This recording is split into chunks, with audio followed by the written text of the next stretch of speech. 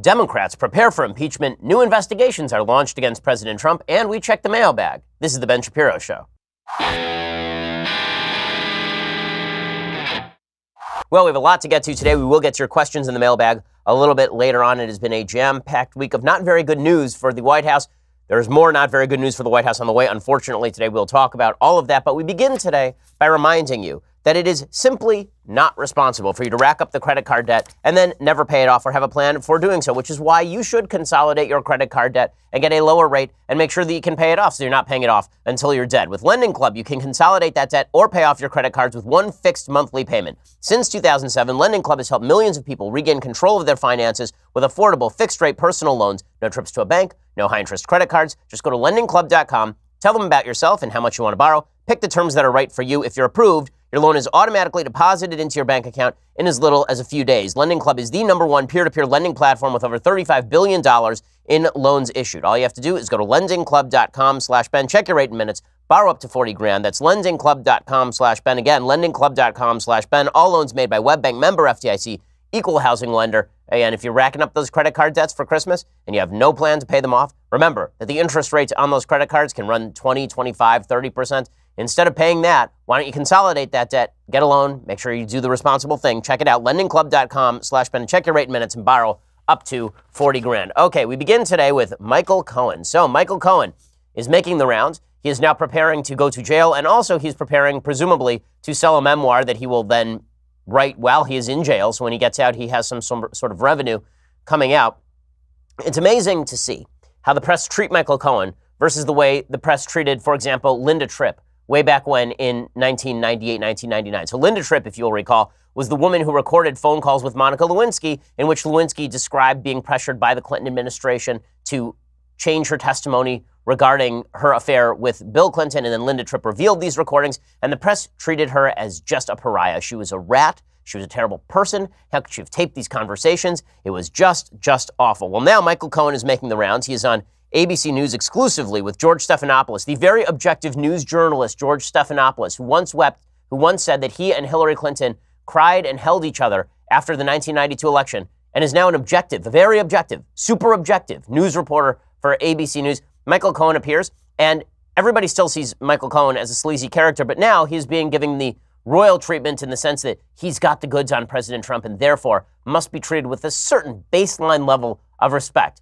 Amazing how that changes based on which party the president belongs to. Well, Michael Cohen had some words to say. Here is some of what he told George Stephanopoulos in this new interview. Country has never been more divisive.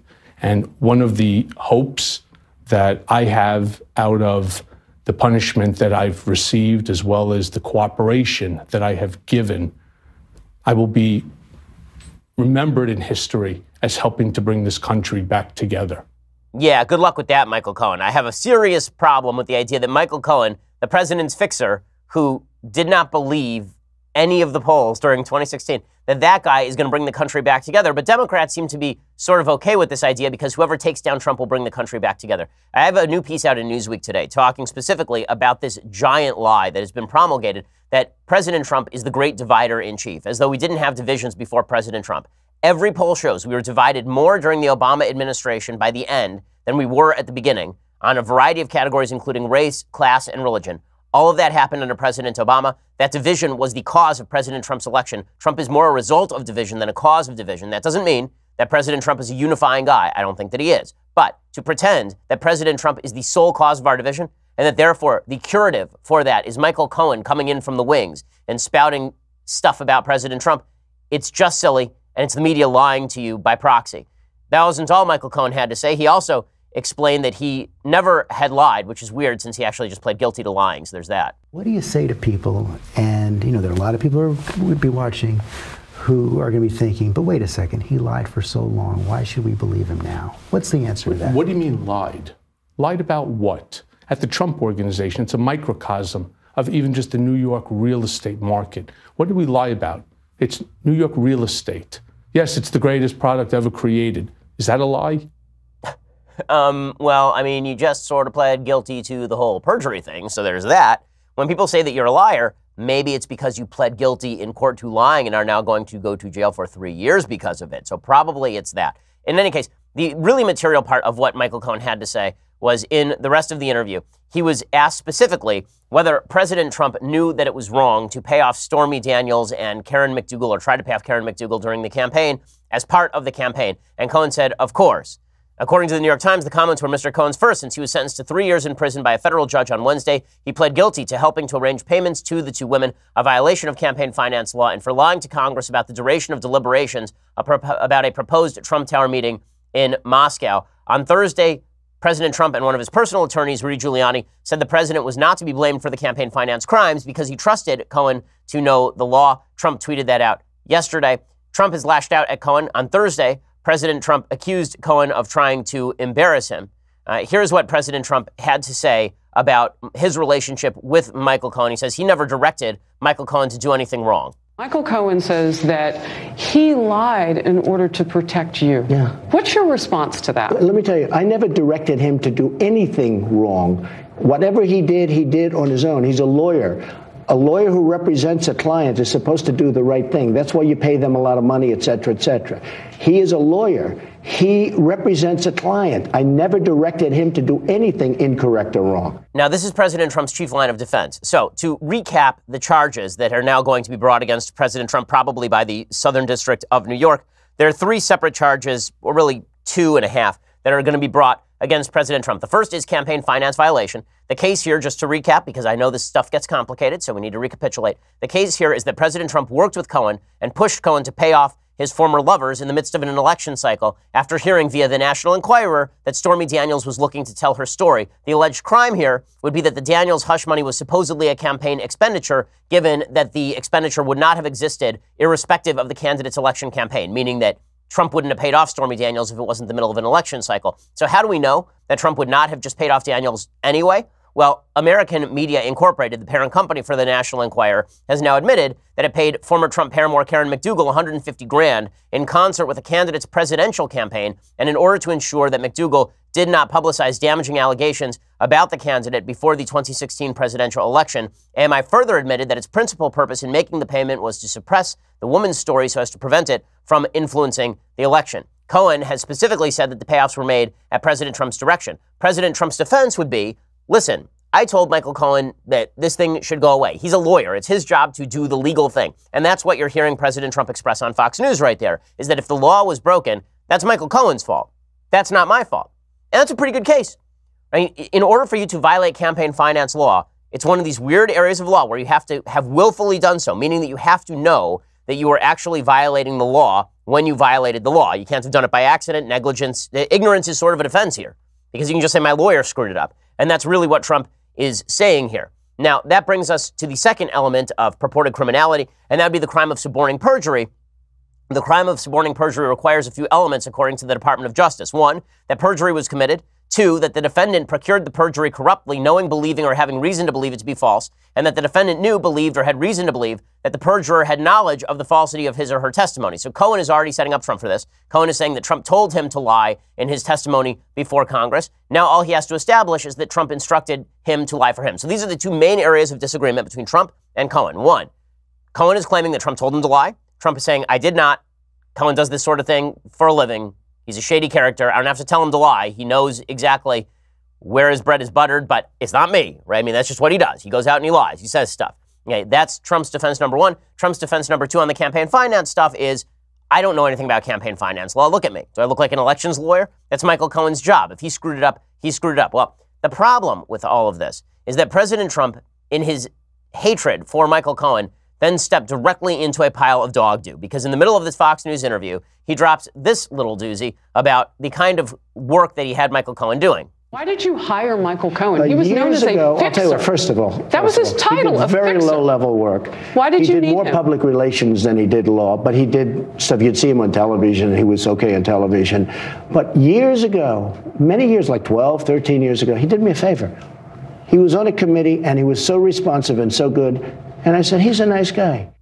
Okay, so here is the problem. If you say that the lawyer who you say you relied on to get things done was just doing low level work for you, mostly PR, it is very difficult to then claim that he was an expert lawyer you relied on for legal advice in ensuring that you were compliant with campaign finance law. The president should not have said this stuff. the president is not his own best lawyer. It turns out that in every criminal circumstance, your lawyer is your own best lawyer. This is why when you see people representing themselves on TV in criminal cases, every lawyer says, that's stupid.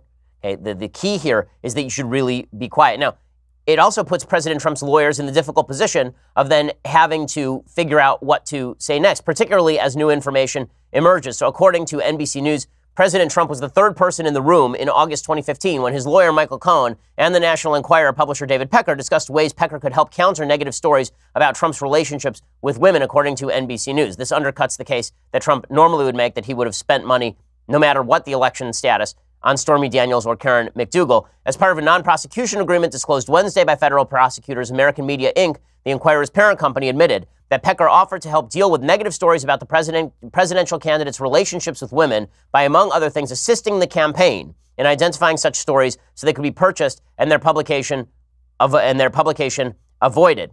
Trump was first identified as attending the meeting by the Wall Street Journal. So this undercuts Trump's case that he was ignorant of the campaign stuff and that it had nothing to do with the campaign. Now, in a second, we're going to get to how exactly President Trump's personal attorney, Rudy Giuliani, is dealing with this. Suffice it to say that his line of defense is not particularly good. Now, we will get to whether any of this is really prosecutable. We'll get to whether any of this is impeachable. We'll get to the insane number of other investigations Democrats are leaking, which actually which actually undercuts their message that they are deeply concerned about the law and makes it seem more like a witch hunt, as President Trump has said. We'll get to all of that in just one second. First, let's talk about this particular blazer. Do you see this blazer? Look at this magnificent blazer. Okay, this thing, it's lightweight, it wears really easily, it's super comfortable, it's super soft, and it looks great. And not just because I have the body of a Greek god, also because this jacket is just spectacular. It's comfortable, it's stylish. It's Peter Millar, my new Peter Millar excursionist blazer.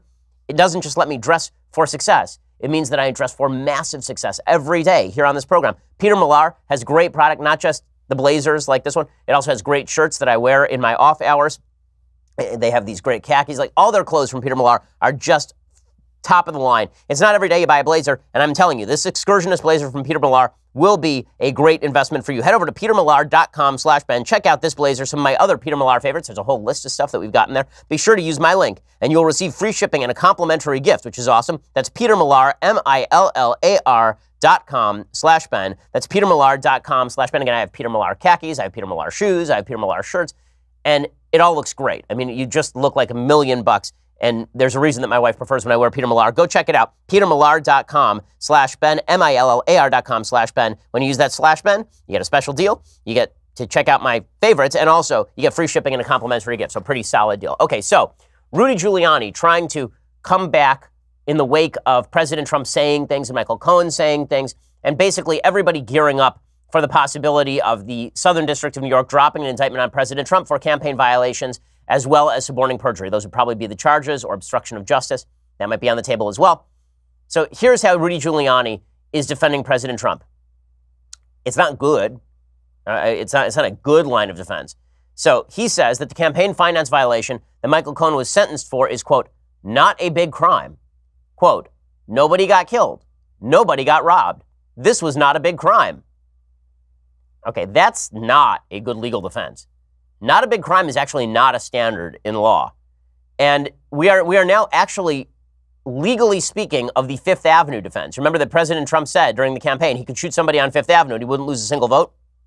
So now apparently the mayor who is responsible for the implementation of broken windows theory in New York, which curbed crime in New York based on prosecuting small crimes, is now saying that small crimes don't matter so long as those small crimes are small enough and they aren't murder. So I guess the idea is that anything short of murdering somebody is really not a particularly big deal. Now, is it true that campaign finance violations are not enough to take down a president? Yes, it is true. Campaign finance violations are not enough to take down a president. Nobody cares about them. Everybody assumes the campaign finance is crap anyway. Nobody really thought any differently. Nobody thinks that President Trump doesn't pay off women to keep them silent. Nobody thinks that President Trump isn't who President Trump is. See, this is the thing about being President Trump, and this is why, and this will become relevant in a second when I discuss Democrats' attempts at impeachment, which is coming next th- none of this changes your picture of President Trump.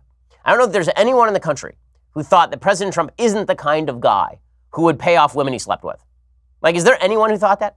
Is there anybody in the country who thought that President Trump was deeply concerned about the intricacies of campaign violations, campaign finance violations? That he was sitting there going, well, got to make sure that nobody spends 2,700 bucks Got to make sure that nobody violates the, these, these particular campaign promises. President Trump has been Donald Trump his entire life, as it turns out. And the New York real estate business is indeed very dirty, as you heard Michael Cohen say. Because that doesn't change the image of who President Trump is, it doesn't actually change how his administration works. And so the idea that he can't proceed as president of the United States because of these crimes, well, that's just not true. And it's obviously not true. And this is the point, right? This is where the, the rubber really meets the road because the next step here is going to be Democrats pushing for impeachment. You can already hear them boxing themselves in. Democrats may not want to push for impeachment. Democrats may want to maintain this controversy up until the 2020 election, but they've basically forced themselves to move on impeachment because they're now accusing President Trump openly of criminality, which means the responsibility is on them in the House to push for impeachment. So let's talk about that a little bit. Eric Swalwell is a congressional Democrat, and he says that President Trump presides over a criminal presidency, right? This is the Democrats boxing themselves in to attempting some sort of impeachment before the 2020 election. You are now seeing more evidence than ever that Donald Trump was associated with a criminal campaign, a criminal transition, and presides today very likely over a criminal presidency. And you've seen people in his orbit who are either under investigation, have pled guilty, or are serving prison time uh, because of their association uh, with one or all three uh, of those different entities. Well, if the Democrats keep screaming criminality, they're going to have to push for impeachment. But the question is, could they credibly impeach President Trump in the House? And Democrats today who are saying, well, let's push for impeachment now. Are these impeachable crimes? So here is my answer. If this had all happened in 1995, the answer is yes. But we live in the post Clinton era. You can separate the, the question of presidential decency and presidential class into BC and AC, before Clinton and after Clinton. Because before Clinton, there was basically a bipartisan consensus. If you committed a crime, you were going to be ousted. This is what happened to Richard Nixon. Republicans supported his impeachment, even though they were members of his own party. That's why he resigned in the first place. But when it came to Bill Clinton, not a single Democrat, not one in the Senate, supported his impeachment on charges that look extraordinarily like the sort of allegations that are now being made by President Trump. Clinton was impeached on obstruction and perjury based on his testimony and pressure on others regarding their testimony on Monica Lewinsky, and the Senate then acquitted him. The political lesson we all took from this was that impeachment was deemed inappropriate in cases where the president could still operate. They said, oh, well, he's got a 70% approval rating. He can still be the president. These crimes don't really go to his efficacy. Well, those same arguments now apply to President Trump. And in fact, President Trump would not have been successful would not have been successful in his presidential primary run if it had not been for a widespread perception that morality no, no longer mattered in politics, a perception that springs directly from the Clinton years. Okay, now we're going to hear from Democrats that this is different, that it's not truly the same. They're going to say the campaign finance thing is different. Tr- Clinton didn't violate purposefully campaign finance law, except for the fact that during his actual campaign in 1996, there was solid evidence that the Chinese government was trying to funnel money into his campaign. So there were serious campaign finance violations with regard to Clinton. It was called Chinagate at the time. And by the way, it's not even clear, as Rudy Giuliani sort of says here, it's not even clear that hush money payments can even fall under the rubric of campaign expenditures, particularly because President Trump could have been spending years paying off all of these women. Clinton suborned perjury. He obstructed justice about ancillary matters. That's really what people are talking about with regard to President Trump. Now, the Democrats are going to say, well, Republicans are hypocrites because Republicans voted for the impeachment of Clinton in 1998 and 1999, which, by the way, is not even completely true. A bunch of Republicans voted against uh, conviction in the Senate. It was a Republican Senate that acquitted President Clinton in 1999. But the hue and cry by the media is going to be that Republicans are hypocrites. They voted to impeach Clinton, and now they're not voting to impeach President Trump. But here's the thing the reality on the ground has now changed. Once one group of people violates the rules, you have obliterated the rules. Our country exists on an unspoken set of assumptions about things that we hold in common. As we have seen in virtually every area of American life, we no longer hold very many things in common. One of the things that we clearly do not hold in common and did not hold in common was our perspective of what the presidency should be. Once the Democrats violated the rules, the Republicans said, listen, we are not going to hamper ourselves by continuing to apply rules with regard to character and morality in the presidency when Democrats are pretty clearly not interested in any of that sort of stuff. We're not going to be held to account by Democrats for doing this sort of stuff. Now, do I think that in an ideal world, Republicans would still uphold that standard? Yeah, I do. But this isn't an ideal world. And the idea that Republicans are going to unilaterally disarm in the face of Democrats who now say, oh, we want to reconstitute this standard. Let's reconstitute the standard of class in office. We all know you're lying. We all know that you're not telling the truth. That if you got rid of President Trump on suborning perjury and obstruction of justice, after defending Bill Clinton, we don't actually think that next time a Democrat does this stuff, you are going to support their impeachment. We think that you're only holding this standard for President Trump because you're a bunch of partisan hacks. And that being the case, we're not going to help reinstitute a standard for us that does not apply to you. There has to be a collective, mutually assured destruction that takes place. That mutually assured destruction has not been achieved. And that's why I think Republicans are not going to move against President Trump, nor do I think that they probably should, politically speaking, move against President Trump. Most likely scenario here is he's impeached by a Democratic House sometime in the next two years, and then he runs for reelection because he's under threat of indictment by the Southern District of New York. That is the most likely scenario in all of this. Now, President Trump has complained about this, all of this being a witch hunt, and there's some evidence to support him, and I want to talk about that in just a second. But first, let's talk about how you can make your watch look better. Do you see this? Do you see this magnificent timepiece that lies upon the wrist of yours truly? Do you see this? Look how classy it looks. Look how nice. Look how simple and elegant it is. Well, that is the style of movement watches. Movement watches, they're not designed to tell you how many steps you're taking in a day or how many calories you're going to lose or anything like that. They're designed to tell you the time in a minimalist fashion that looks expensive but doesn't cost you a ton of money. Movement is a really amazing success story, actually. They're a bunch of ground up entrepreneurs who started this thing essentially from a garage, and now they sold 2 million watches worldwide. And movement watches are all about looking good without spending a billion dollars. Movement watches start at just 95 bucks. You're looking at 400 bucks for the same quality from a traditional brand.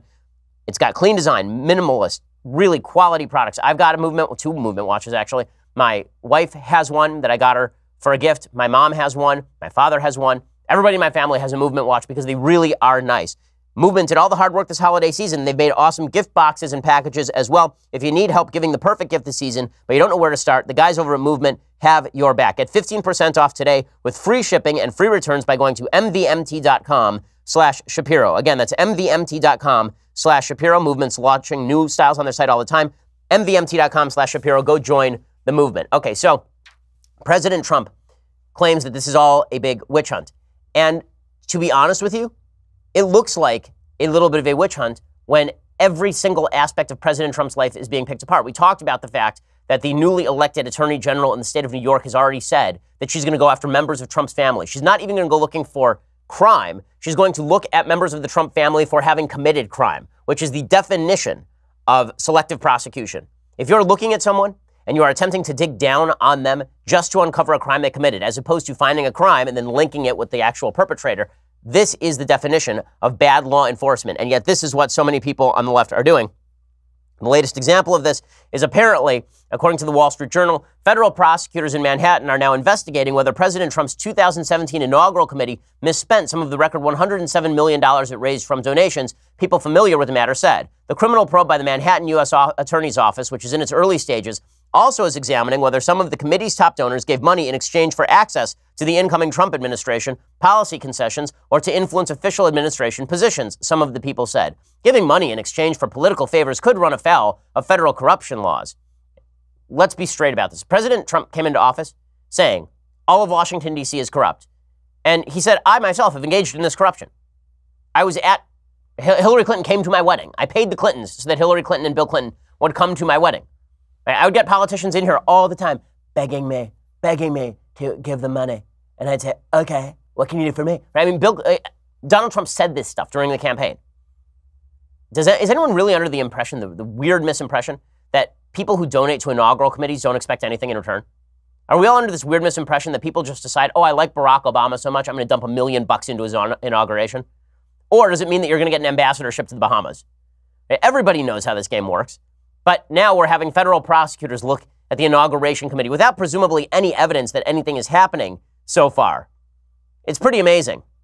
The inaugural committee hasn't been asked for records or been contacted by prosecutors, according to a lawyer close to the matter, who said, We are not aware of any evidence the investigation the journal is reporting actually exists. But that's not stopping, apparently, the investigation from moving forward. Federal prosecutors have asked Rick, Gates, a former campaign aide who served as the inaugural committee's deputy chairman, about the funds spending on its donors, according to people familiar with the matter. So basically, they're going to now dig through every element of Trump's life in an attempt to get him. It does make it seem a lot like a witch hunt when everybody is hunting for witches. Now, it's possible they come up with some witches in the witch hunt, but that doesn't change the motivating factors underneath all of this. And that's why, if President Trump is successfully able to convey that all of this is in fact a big effort to get him, even if he's guilty of some of it, then maybe it doesn't hurt him quite as much as people think come 2020. Especially when the media continue to gain, give credibility to just randos who make any allegation about the president under any circumstances. Like Mediaite today has a, a big piece about a former staffer on The Apprentice and current stand up comic named Noel Casler, who claims that Donald Trump was a speed freak who snorted crushed up Adderall. Okay, that's not the most credible sourcing, and it's not the most credible story considering that Donald Trump is a teetotaler because his brother was an alcoholic and apparently has gone around for years to young people and told them not to do drugs and not to do alcohol. Nonetheless, this guy who worked on The Apprentice said that he worked on some of Trump's beauty pageants during the 1990s, in which President Trump would, would offer girls to come up to his hotel room again, unless there's criminal activity alleged. I'm not sure what exactly the revelation is there, but the point is that no matter what the allegations are against President Trump, substantiated or not, they will get heavy play from all the people who want to see him go. And it's Democrats in the House. Nancy Pelosi saying we're going to go after his tax returns yesterday. If President Trump could get Democrats somehow to convey that it doesn't matter, they can go after every aspect of his life and he's the victim in all of this, then he could successfully run for reelection, at least on the basis that this is a group of vindictive jerks who are trying to come after him. Nancy Pelosi looking pretty vindictive right here. Yes, there is popular demand uh, for the um, uh, for for the Congress to request the president's tax returns. They will have their path uh, as as we go forward. I'm, I'm sure the White House will resist, and so question is, how do we go? Where do we go from there? So now they're going to go after his tax returns. Okay, enough. We don't have to hear from from this person. I mean, again, th- this idea that tax returns are also on the table. Everything's on. Uh, we all know what the real motivating factor here is. Joy, Joy Behar, who is sort of the it of the Democratic brain, and she she basically spills it. She says, "Listen, anybody who likes Trump, anybody who supports Trump, Trump himself, family members, they should all go to jail." It's so funny to hear all these people who are very angry at people shouting lock her up about Hillary Clinton, who committed federal crimes in concealing and, and keeping on private servers classified information. All these same people who are livid about lock her up are saying lock everybody up. I don't like Joy Behar conveying the, the sort of emotional, emotional bursting forth that Democrats would really like to see here. He has nothing to lose by speaking against truth to power about Trump. Why does he say even if he commits a crime, it's I think okay. there's more that's gone on behind the scenes. Twitter. I think favors have been done and it's gone. I have no idea. He but he also won a Grammy, interestingly. Okay, so the, so Orrin Hatch needs to go to jail because he's nice to President Trump. There are a lot of folks in this country who are fans of President Trump, and if they get the feeling that all of this is, is a setup, it's going to be a problem for Democrats. And meanwhile, in other Trump world news, the ongoing search for chief of staff continues. Apparently, two of the top candidates are Jared Kushner, the president's son in law, who is responsible for a vast swath of policy inside the Trump administration, from criminal justice reform to Middle Eastern policy. He's been under a lot of fire recently for his relationship with Mohammed bin Salman, who is the, the de facto king of Saudi Arabia. Kushner, of course, is Ivanka Trump's husband and is very close with President Trump personally. There's been talk that he might be up for chief of staff. I think that would be a very bad move for the Trump administration. Jared already has an enormous amount of power over the policy in the Trump administration. Now, let, let me just make a note. I'm not for nepotism. I don't like nepotism. I don't like the idea that you're related to the president, therefore you get a position in high politics. But let's not pretend that this is unique to President Trump. This isn't whataboutism because, again, I don't think it's right that this is happening on the Republican side of the aisle. But nepotism is a bipartisan feature. Bobby Kennedy became attorney general because his brother was president of the United States at the time, which is an insane thing that was allowed to happen. To have it, you're like, I can appoint a family member to be the person overseeing the Justice Department that's supposed to oversee me. Pretty wild. Right? And then Teddy Kennedy ran for Senate on the back of his brother. And then you have the Clintons, obviously, and Hillary Clinton running on the back of being married to the president and then running for president on the back of being married to a former president.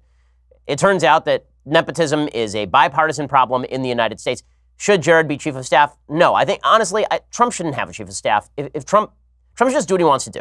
He's going to anyway. Trump should just appoint himself chief of staff. He should just say, no one can run this place like I can. I'm my own chief of staff. Because that's the reality anyway. When he wanted to ignore John Kelly, he just ignored John Kelly. When he wanted to ignore Reince Priebus, he just ignored Reince Priebus. Like, who cares? He should just appoint himself chief of staff, have, everybody, eh, have a scheduler who's out front in his office. He can bring back the lady from the Trump organization, make her the scheduler, and then just run the thing like he wants to run the thing as a family business. The other person who they are discussing is Chris Christie, which is just beyond insane. Bringing in Chris Christie, the, the corruption ridden former New Jersey governor, to who most famously got was sent to go get like hamburgers for President Trump on the campaign trail. Like President Trump can't find anyone else in the United States who wants to go get him a, uh, who wants to go get him a diet coke and a burger. He's got to bring in Chris Christie just to serially humiliate him on national television. You remember when Chris Christie became part of the Trump campaign, and every other Trump rally was Trump pointing over to Christie and going, "Look at the lovable fat man over here.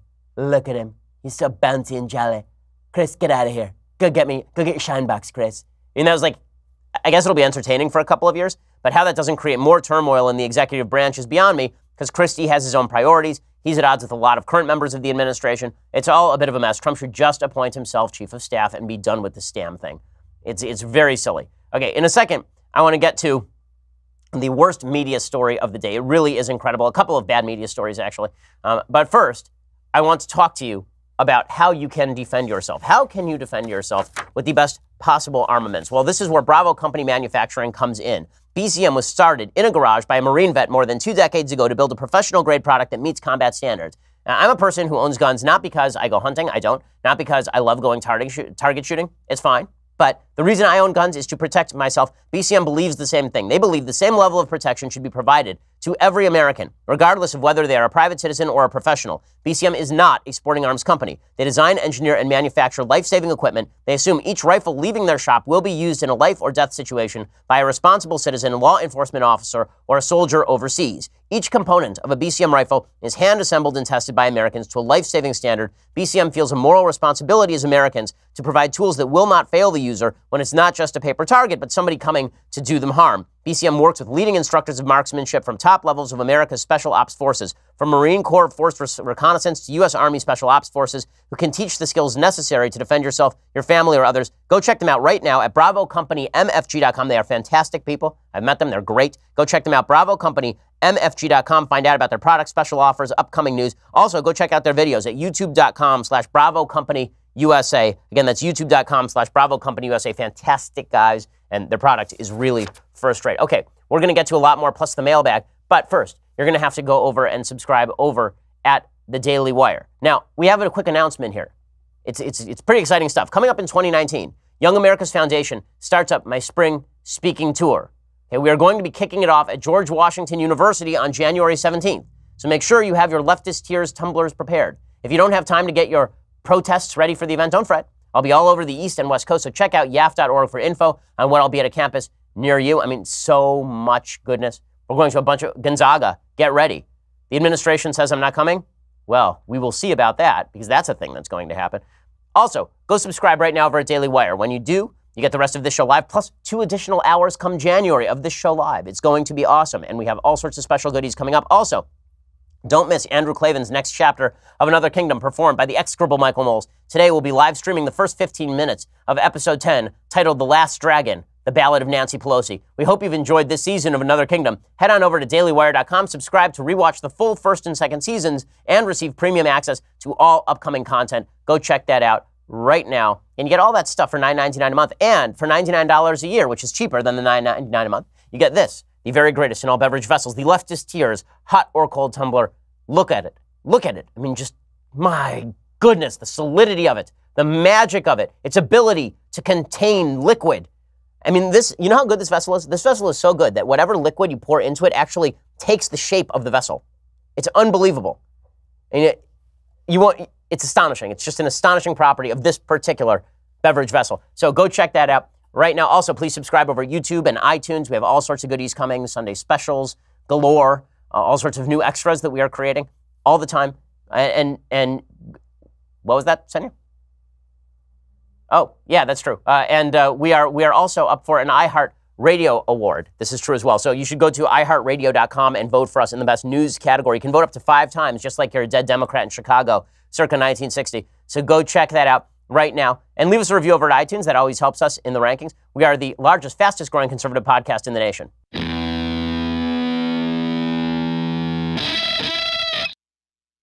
All right, so worst media story of the day. This is, this is just media malfeasance at an extraordinarily high level. So the Washington Post is blasting out this headline. Seven year old migrant girl taken into Border Patrol custody dies of dehydration exhaustion.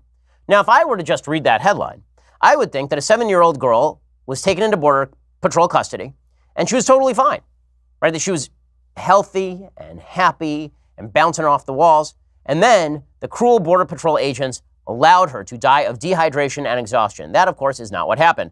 When you read the article, what you see is that a seven year old girl from Guatemala died of dehydration and shock after she was taken into Border Patrol custody last week for crossing from Mexico into the U.S. illegally with her father and a large group of migrants along a remote span of the New Mexico desert, U.S. Customs and Border Protection said on Thursday. According to CBP reports, the girl and her father were taken into custody about 10 p.m. December 6th south of Lordsburg, New Mexico, as part of a group of 163 people who approached U.S. agents to turn themselves in. More than eight hours later, the child began having seizures at 6:25 a.m. CBP records show. Emergency responders who arrived soon after measured her body temperature at 105.7 degrees, and according to a statement from CBP, she reportedly had not eaten or consumed water for several days. So whose fault is it that this girl, this poor, this poor child, died of dehydration? Probably her father, who brought her along on a thousands mile journey and didn't feed her or give her water. Okay, the CBP agents who took her into custody, we don't know what they did in the eight hours between when they got her and when she started having seizures. We don't even know if they were able to review her health. There were 163 people who they knew nothing about, who they gathered into a place and then started processing. And eight hours later, the girl was already dying. After a helicopter flight to Providence Children's Hospital in El Paso, the child went into cardiac arrest and was revived, according to the agency, but the child did not recover and died at the hospital less than 24 hours after being transported. The father remains in El Paso awaiting a meeting with Guatemalan consular officials, according to the CBP. The agency is investigating the incident to ensure appropriate policies were followed. Food and water are typically provided to migrants in Border Patrol custody, and it wasn't immediately clear Thursday if the girl received provisions and a medical exam before the onset of seizures. Because here's one of the things about dying of dehydration. If you don't drink for, se- for many days, and then you're given a little bit of water, that may not help you. You may, in fact, need IV. It may not be enough just to give somebody a little bit of water. This idea that if you give somebody a cup of water after they haven't had a drink for five days, suddenly they will be, they will be saved from dehydration, it is just not the case. According to spokesman Andrew Meehan, Border Patrol agents took every possible step to save the child's life under the most trying of circumstances. As fathers and mothers, brothers and sisters, we empathize with the loss of any child. Naturally, the ACLU blamed the CBP for all of this. This is obviously the fault of the parents. If you if you cross a giant desert without feeding your child, and then you arrive at a place, and within eight hours the kid is having seizures, you're the parent. You're the parent. The agency said it was expecting an autopsy on the child, but results would not be available for several weeks. An initial diagnosis by physicians at Providence Hospital listed the cause of death as septic shock, fever, and dehydration. Again, dehydration is not just you didn't drink for 12 hours or you didn't drink for 24 hours. It's if you die of dehydration, you have not had a drink for a very long time, and it's quite possible that if you try to give somebody water after they are this dehydrated, they start throwing it up anyway. So it's just bad media coverage, just stupid bad media coverage because this is the way the media try to push a particular narrative. Now, speaking of bad media stories, uh, I am sad to see that the Weekly Standard has now been shut down. The Weekly Standard uh, has been sort of a, a an institutional tentpole in the conservative movement for some 23 years. It was shut down by Clarity Media Group. The announcement came after the magazine's editor, Stephen Hayes, met privately with Ryan McKibben, who's the chairman of the Weekly Standard's publisher, Media DC. McKibben said in a press release For more than 20 years, the Weekly Standard has provided a valued and important perspective on political, literary, and cultural issues of the day. The magazine has been home to some of the industry's most dedicated and talented staff. I thank them for their hard work and contributions, not just to the publication, but the field of journalism there's a lot of, of really talented writers over at the Weekly Standard. I hope to work with some of them in the future, and I'm sad to see them go. Employees were told they would be paid through the end of the year, and that afterward they'd receive severance, which would range in scale. To receive severance, employees would need to sign an NDA, however. Employees were also told to clear out their desks by the end of the day, and they said their email addresses were already being in the process of being shut off, which is pretty amazing. The, the editor of the Weekly Standard basically said the reason they're being shut down is because they were anti Trump it's not just that the Weekly Standard was anti Trump, it's that the Weekly Standard started to reflect the preferences of Bill Kristol, who seems to have lost his mind a little bit over President Trump. Bill Kristol, who I've respected as a thinker for a very long time, you know, the fact that, that he decided to tell people to vote for, I believe he told people to vote for Democrats in the last election cycle, uh, and that he's, he's sort of taken the Max Boot position on Trump, which is anything Trump does is bad. That's not likely to win you a lot of friends and admirers or readers. And that's too bad because there's so many talented writers over there. I'm sure they will all get jobs, and I will work to help them get jobs at other outlets because, again, I don't like to see talented people go without work. Okay, uh, so time for a little bit of mailbag. Let's do some mailbag today. Okay, so Steven says, If Justice Ginsburg were to die before the midterm election at basically the same chronological time as Justice Scalia did, should the Republicans proceed with confirming a new justice before the election or not? The answer is, of course, Republicans should proceed with confirming a new justice. They should not wait until after the presidential election. The actual rationale for not voting on Merrick Garland was not that it was the middle of a presidential cycle. The actual rationale for not voting on Merrick Garland is because Merrick Garland did not have the votes in the Senate to be approved. End of story. It was always, in my opinion, a very stupid maneuver to suggest that Merrick Garland should get a vote if Hillary Clinton had been elected. Like, I don't think it's the responsibility of the Senate to greenlight any judge it does not want to greenlight. That's the way that our constitutional system works. Michael says, Hey, Ben, I have two questions. I think only you might have the answers. Question one Is it true you said Michael Knowles is an essential employee? Question two Could it ever be possible that he could be one day? Thanks, Michael. Well, Michael, uh, I, I, like that Michael wrote a letter about himself to us. That's exciting. Um, no, I did not say Knowles was an essential employee. I said every employee of the Daily uh, of the Daily Wire was an essential employee, but every rule has its exceptions. Uh, and Michael, I like to think of more as an independent contractor, to be frank. Uh, and second, could it ever be possible that he could be an essential employee one day? Well, yeah. I mean, we could put him to work scrubbing toilets or something. That would make him more essential than he is now. Carlos says, "Hey Ben, how do you reconcile evolution with the Bible? More specifically, Genesis 1:27, God created mankind in our image and likeness. Is that consistent with the idea that we come from monkeys? Yes, it is, because the question is, what does it mean to be created in God's image or likeness? In my opinion, and in the view of a lot of biblical commentators, what this actually means is that you are created with an independent creative capacity that does not belong to animals. You have the ability to transform the world to make independent, free willed choices, and that is being made in the image of God. It's not that God looks like a human. It's not that God has two nostrils and two hands and two feet. Right? That's that's not what it means when it says God created mankind in our image. And the general view of natural law scholars, ranging from Thomas Aquinas to Maimonides, is that God can use whatever natural processes he wishes in order to, for him to accomplish his goals. And so when the Bible describes the creation of the universe, then that could very easily, in, in sort of scientific parlance, be described as the natural processes of the universe. The question is, what stood behind that process? What made that process happen the way that process was made to happen? Ofer says, Hello, Ben. Now that we know Michael Avenatti isn't going to run in 2020, will you endorse Jim Acosta for president? No. Jim Acosta, in his own mind, is already president. I don't want to disabuse him of that. Kevin says, Kevin, Kevin, why, why did you want to be a lawyer and why did you stop? Uh, so, okay, I have a lot of great stories about my law firm interview process. So, I had the, uh, as far as I know, the most unsuccessful law firm interview process for anyone who graduated cum laude from Harvard Law School, maybe in their history. So the way that it works at Harvard Law School is that when you graduate or when you're getting ready to graduate, all these law firms come and they recruit you because you're a Harvard Law graduate, which means you're special. So they all come to the Charles Hotel and they roll out the red carpet and you interview them basically. They interview you and you also interview them to see what sort of firm you'd like to work for. So I registered for some 32 interviews. I got one offer out of 32. Now, this was not because of my grades, right? This was because specifically on my resume, I had a bunch of my books, and my books included titles like Brainwashed, How Universities Indoctrinate America's Youth, and Porn Generation, How Social Liberalism is Destroying Our Future, right? Titles like that are not apt to win you admirers in legal circles where everybody is a far leftist. And so I would have interview experiences where I, I remember I walked into one interview with a major law firm called Gibson, Dunn, and Crutcher which has outlets all over the country. I believe this was the Orange County branch, maybe. Uh, in any case, um, I walk into the interview. Before I can even sit down, the guy doesn't even shake my hand. He doesn't even say hello. I walk into the room.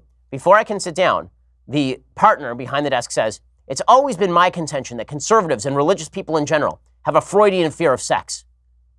And I looked at him and I thought, Well, I'm not getting this job. So I said, That is the stupidest effing thing I have ever heard in my entire life. My prediction came true. I did not get that job. But there were a lot of experiences that were just like that. I mean, I interviewed one time at, at Kirkland Ellis, another first rate law firm. I had a lot of friends who work for Kirkland Ellis.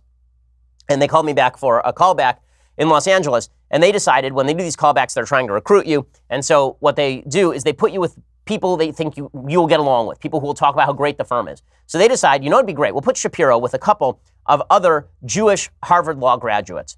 This is pretty much the worst thing you can do because if you are a Jewish person who is not Orthodox, chances are that you're extraordinarily liberal. And as it turns out, that's exactly right. One of these people was a, a radical environmentalist, and another of them was a feminist lawyer. So we're all out to, and, and then they say, okay, well, let's all go to lunch together. And I said, well, I can go, I'm just not going to eat anything, right? I'll have like a Coke. And you guys can eat, and it'll be fine. I do it all the time. No, no, no. You need to go to a kosher restaurant. The only kosher restaurant in downtown LA at the time was a greasy falafel shop. So there we are in our expensive suits, at a greasy falafel shop, chowing down on falafel, and one of the, and and the girl who um, and the girl, the woman, happens to be a lesbian, and the guy who's sitting next to her, we're all talking.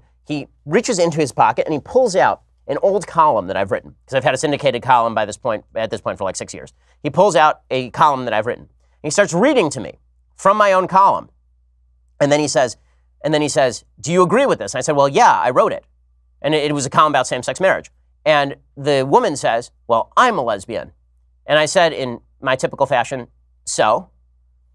And she was very upset about this because she assumed that, I guess, because she was a lesbian, I would now change my entire worldview on same-sex marriage because this is how the left thinks. It's a personal insult to members of the left if you don't change your entire worldview based on their personal life experiences, which is pretty a shocking thing. In any case, those interviews went poorly. The one that went the worst, though, and this is me getting to the answer, the one that went the worst was I was specifically asked by at one point by one of these firms why I wanted to work in corporate law, why I wanted to be a, a corporate attorney. And I looked at the interview and I said, for the money which is the obvious and honest answer to anyone who wants to practice corporate law, right? You're not you're not going to corporate law for the love of the law. And anybody who says they are is a liar. Okay, the reason you're going there is because the partners are making a couple million bucks a year. The, the notion that you are going from Harvard Law School, where you study how to be Atticus Finch, and you study about legal theory, and you study about originalism versus legal realism, and it's all about ideas, and then you go to a law firm where you sit in a room and you review page numbers and commas and missing paragraph indents for 2,200 billable hours a year. The idea that you are doing this for the pure enjoyment of Blackstone's commentaries is insane. So, anyway, uh, he said, Why are you doing this? I said, For the money. So, that's my same answer to you. Why, why did I want to be a lawyer? For the money. I mean, right, I, I finished, I, I, went to, I went to college, I got my degree in poli sci. You can't get a great job with poli sci. My mom had always been sort of practicing kind of law. She was doing business affairs. She said, You should get your law degree. I was like, ah, I'm not really sure. I went, I took the LSATs. I did really well. I got into Harvard. She's like, Now you have to go. I said, Okay, fine. And then after that, it was like, okay, what do you do now? Well, you work in law. So that was the idea. Also, I wanted to learn the real estate business. That is something that did not end up happening. Okay. Uh, Samuel says, Hey, Ben, what do you find, when do you find time in your busy schedule for writing your novels? Do you set aside a specific time each day, or do you set aside a specific time entirely to working on a novel? I've been listening for a couple of years now and greatly appreciate the balanced approach and your honesty. Thank you. Samuel, so um, I worked on my novel True Allegiance sort of in my spare time. I do have to carve out times in the day. And what I've realized is that I have to tell uh, I have to tell my assistants, those around me, that they need to not schedule my day. That I need a, a block of like three hours. If I actually want to get anything done, I need blocks of two or three hours. And when somebody says to you, Can I have five minutes of your time? the answer should usually be no. Because five minutes of my time is not five minutes of my time. It's the 15 minutes in preparation for the five minutes of my time, and then the 15 minutes afterward getting back into my work. There is no such thing as a five minute block of your time. Even a person asking you a question for 30 seconds requires you to be wrenched out of your work, and then it takes you another 10 minutes to get back into your work. So you really do need to have undivided blocks of time where you simply are not bothered if you want to write. And that's true whether you're writing nonfiction or fiction. Obviously, I write a lot more nonfiction than fiction. Uh, Terry says, Hey, Ben, I've been living in California since the military stationed me here six years ago. At first, I loved the state because I was young and saw myself as more of a liberal. But as I grew older and more educated, I definitely find myself firmly on the conservative side of the fence. I recently decided I want to move away from California to find a state with lower taxes and more job opportunities. Do you have any recommendations for cities that are potentially worth moving to? Thanks for the awesome content. Well, there are a lot of fantastic cities in states that are more conservative. Um, yeah, in terms of just pure beauty of the city, Charleston, South Carolina is a gorgeous city. I think it's the prettiest city that I've ever been to. It's, it's just beautiful. Um, but in terms of great cities that are in conservative areas, obviously Dallas is a fantastic city. Um, I like Oklahoma City, I'll be honest with you. I think Oklahoma City is great. I think Nashville is a great town. There, there, there, are a lot of really great towns that, that I have been to um, in conservative states. And honestly, were I not wedded to being near a Jewish community, that would give me a lot more options on where to live. Okay, one more question.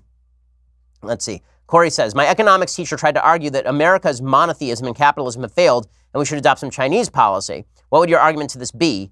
Thank you, Corey. Centralized planning works in the short run in the sense that it directs capital toward a particular goal, and that goal can be successful in the short run. It does not work in the long run because the bottom line is that the collective wisdom of the crowd when it comes to the products and services to be created much stronger, much more versatile, much more durable than anything directed top down it, it is amazing to watch as people make the same economic errors over and over. Back in the 1920s and 1930s, there were a lot of folks in the West who said, wow, look at the growth rates in Stalin's Russia. Look at that. The five year plans. And then all of that collapsed, right? And it turns out that all of that was fake. When you keep your people in a, stat, uh, in, in a state of abject misery for 30 years and then give them gradual gains, and turns out they're happier because of the gradual gains, that does not mean that people in China are living a lifestyle anything comparable to the lifestyle of the United States. The United States is still the world driver of the economy. If the United States economy were to go into recession, the entire world goes into recession. The same thing is not necessarily true of the Chinese economy, which has experienced several serious economic shocks in the past several years, and that has had some impact, but certainly not tremendous global impact in the same way that the United States economy has. It's just monotheism and capitalism haven't worked. Have you seen a chart of GDP per capita since the advent of free markets in the early 19th century? It looks exponential. This is just the stupidest crap I've ever heard. Really, that's so dumb. Like, read a book. A book. Okay, some, let's see. Okay, we'll do some things. Uh, there's so many good questions today, and I'm sad we can't get to all of them, but let's get to some things I like and then some things that I hate. So, things I like. Uh, last night we had our Christmas party over at my business partner Jeremy Boring's house, the God King Jeremy Boring, uh, and it was beautiful. I mean, it was really well decorated and really nice. And uh, my uh, and and a bunch of the, the folks who work at the company were all singing holiday songs like like Wonderwall together. Uh, it was very weird. Um, everybody and and here's the thing about the Daily Wire staff: it was a dry party, and everybody was still singing there like they were drunk together. The the estimable Mathis Glover did uh, a rather fantastic rendition of "Call Me Maybe" uh, with acoustic piano, which, as it turns out, "Call Me Maybe" not a good song and Call Me Maybe without any production value, particularly not good. But Mathis got very into it. Uh, Senya's rendition of Can't Help Falling in Love with You was, was definitely a classic of the genre. Uh, we had Nick, who was out there singing with the full passion that he could bring to it.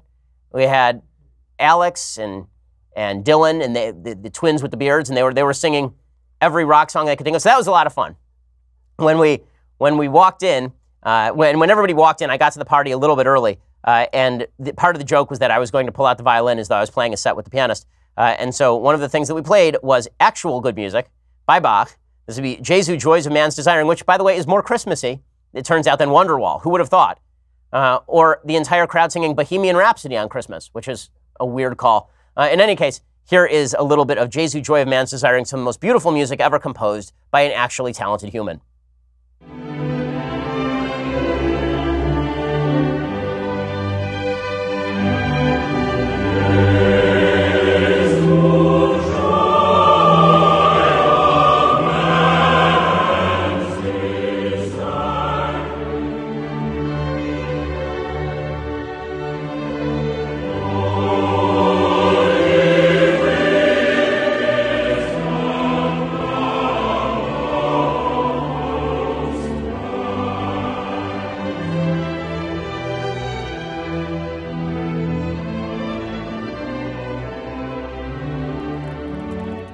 Okay, so it's great music. Okay, time for, in the, in the wake of that, time for some stuff I hate. Okay, so things I hate. This one goes out to my wife. So, last night, last night, it's like 10:30 p.m. and it's time to go to sleep. But I need to go to the kitchen for something. And our in our house, our bedroom is on one side of the house and our kitchen is on the other side of the house, and in between uh, is kind of the den area where the kids like to play. And there is, and so usually we clear a path, you know, like good human beings would. We usually clear a path from one to the other so that if we have to walk in the dark, we don't kill ourselves. This had not been done. That's not my wife's fault. That's my kid's fault. Anyway, they decided to leave out their little chairs and their little toys. So I'm walking blithely along, happily walking along. They get a bottle of water from the kitchen, and boom, I bruise the living hell out of my shin, and I go flying head over heels over this chair like Dick Van Dyke over the ottoman in the original Dick Van Dyke show. I mean, I just go flying and I clock the living hell out of my leg. I mean, I just destroy my knee, I destroy my shin, and and fall directly from the chair onto my son's digger. He has like a my son has like you know like a digger that you would see at a construction site. He has one that you actually sit on, uh, and so I fall from one object onto another object and then onto a third object. So it was it was great physical comedy in the dark. So I'm lying on the floor, and my wife is in the bedroom, and all she can hear is, oh, right? She just hears me just shout. right? Just a blue streak in the middle of the night. And I hear her from the other room, Are you okay? And I'm like, Number one, no. Right? You just heard me shout a bunch of curse words after hearing a giant clatter of me going down on the floor. No, probably not. Probably not okay. And then my wife comes rushing in and she sees me on the floor clutching my leg. And I, I just, I mean, this thing hurt like hell. I mean, it wasn't just like a shin hurt. It was like, it was bleeding. I mean, there was actual blood. And like my, I stepped directly on a bunch of blocks at the same time. I mean, it was ridiculous. And I'm lying on the floor and my wife is laughing as hard as I have ever seen her laugh in her life. She is dying. I mean, she is crying. She is laughing so hard. And she's like, honey, are you okay? She said while laughing through her tears. And and I'm like, no, I'm not okay. Can you get me, you know, like an ice pack because I can't move for a second? And she's she's she's she, she's like, I'm so sorry that happened, laughing at me the entire time, like literally laughing. Like, I'm so sorry that happened. I'm like, ah. And this continues for a solid, I kid you not, 15 minutes of her laughing as I hobble around the house as though I've been wounded in some sort of crucial battle. And, um, and finally, things calm down, and I put an ice pack on my leg. And as we're about to fall asleep, I hear her giggling and laughing because my wife loves it when I get hurt. It is her favorite thing. And I don't know if this is, a, I'll have to talk to some more of the women in the office. I don't know if this is a woman thing because my mom has the same thing with my father. Like if my dad clocks himself, my mom thinks it's the funniest thing that she's ever seen. And, you know, if I were really, really hurt, like deeply hurt, like hospital hurt, then I assume that my wife would not be quite as pleased with the situation. But when I clock myself and it really hurts, but I'm not dying, my wife thinks it's the funniest thing that has ever happened. So things I hate, this one goes out to you, sweetheart. Love you even if you don't love me. And uh, that's the, uh, I guess that's, that's the way the cookie crumbles. So solid stuff there. Okay, final thing that I hate as we approach Christmas. Uh, we now get the, the wisdom of a bunch of people who have no relationship with religion or traditional Judeo Christian values uh, about whether particular Christian figures like the Pope are homophobic. So Jenny Hagel, who is a writer for Seth Meyers, I guess, did an entire monologue the other night about how Pope Francis is a homophobe because Pope Francis believes that homosexuality is a sin, which has been part of Judeo Christian canon for approximately 3,000 years. Uh, but here is Jenny Hagel finally explaining the real reason this has all been done is because the Pope, Pope Francis, is a brutal homophobe. The press dubbed him Cool Pope. But here's the thing this guy's not cool. This guy is homophobic. If you're not Catholic, you're probably thinking, why should I care about this? And if you are Catholic, you're probably thinking, What's the latest I can leave my house and still get to Mass on time? but we should all care about this because the Pope is a world leader who's giving people permission to be prejudiced. Hey, so much humoring from the humorists. What I love is people who are politically driven comedians who have an agenda not being funny at all and just calling the Pope a homophobe on the basis that they disagree about the status of particular behavior and whether it is, in fact, a sin or not. She's going to have to name me the policies that the Pope has pushed that are that are in favor of cracking down on gay people and victimizing gay people. In fact, most of the Pope's statements on this have been very soft, uh, but this is not enough. Now we have to, in, in the great battle between secularism and religion, secularism must emerge victorious and label everyone who disagrees an evil human being. So well done, Seth Meyers and, and his writers. Okay, well, we will be back here on Monday with all of the latest. One more week until we go on Christmas break. And then there will be a whole new year of fun. But we are not quite to the end of the year yet. So get ready, buckle up, because next week, I have a feeling, is going to be a crazy one, just like every other week. I'm Ben Shapiro. This is The Ben Shapiro Show. The Ben Shapiro Show is produced by Senya Villarreal, executive producer Jeremy Boring, senior producer Jonathan Hay. Our supervising producer is Mathis Glover, and our technical producer is Austin Stevens. Edited by Alex Zingaro. Audio is mixed by Mike Caramina. Hair and makeup is by Jesua Alvera. The Ben Shapiro Show is a Daily Wire Forward Publishing production. Copyright Forward Publishing 2018.